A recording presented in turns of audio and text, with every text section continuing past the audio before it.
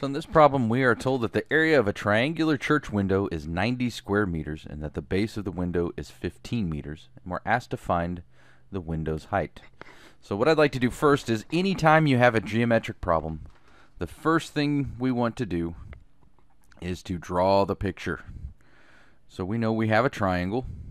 We're not sure what that triangle looks like, but we know that it is a triangle. So we draw a triangle. We're given that the base equals 15 meters. We don't know what the height is. So that's what we're looking for. And we're given that the area equals 90 square meters. And we're asked what is the height. So we're looking for the height. So remember that area of a triangle equals 1 half times the base times the height. And if we solve this for the height, we get 2a over b equals the height. So now we just substitute into uh, our formula. Area equals 1 half base times height.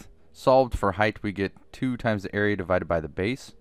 So h, the height, equals 2 times, what's our area? 90 square meters divided by the base, which we know is 15 meters. So that equals 180 divided by 15, which equals 12 meters.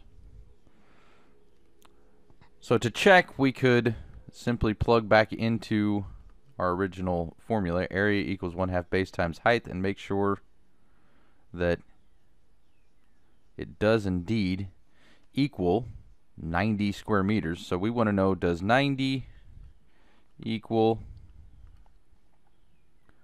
1 half times 15 times 12? Does 90 equal, go ahead and do the 12 times 1 half since those are even, that becomes 6. So does this equal 15 times 6?